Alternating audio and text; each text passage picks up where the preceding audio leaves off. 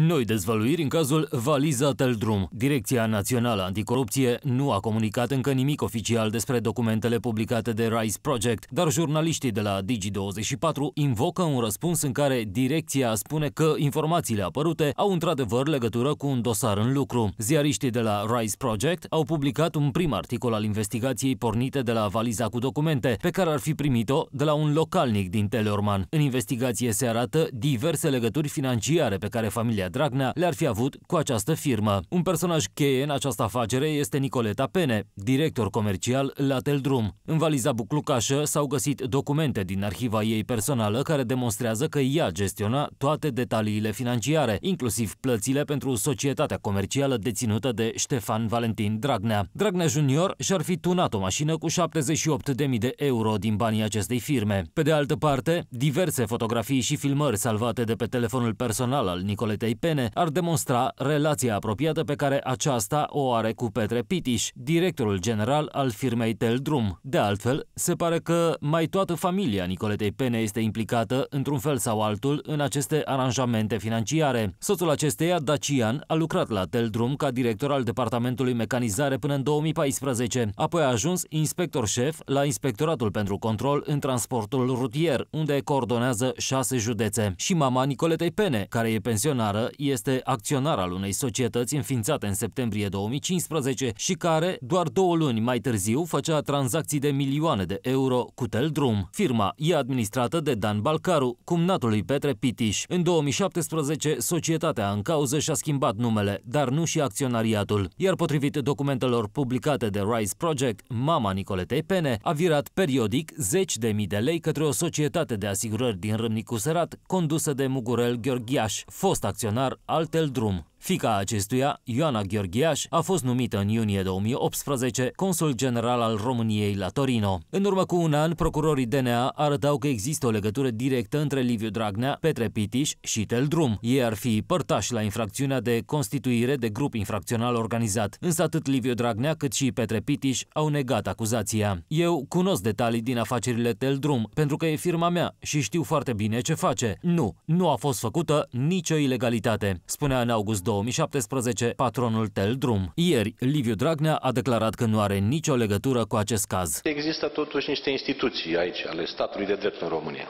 respectiv DNA-ul, prietenii dumneavoastră, uh, care cred că trebuie să investigheze și să dea răspunsuri la aceste întrebări. Eu n-am niciun fel de legătură cu acea valiză. Poze cu mine, cred că sunt mii în această țară, nu știu care le ține pe unde le ține, unii poate le țin pe tabletă, alții le țin sub pernă, habar n-am, nu mă interesează de unde sunt făcute, cum sunt capturate și cum au ajuns acolo. În ceea ce privește celelalte informații, nu mi-a, nu mie, nici drumul sau nicio altă companie nu mi-a plătit nimic din ceea ce s-a realizat în vreo proprietate de-a mea, niciodată. Pe de altă parte, un alt document foarte interesant, găsit în valiza Teldrum, este pe numele lui Gil Vasile, care nu este nimeni altul decât soțul președintelui Consiliului Superior al Magistraturii, Simona Marcu, și care ar fi încasat astfel 15.000 de lei în calitate de avocat.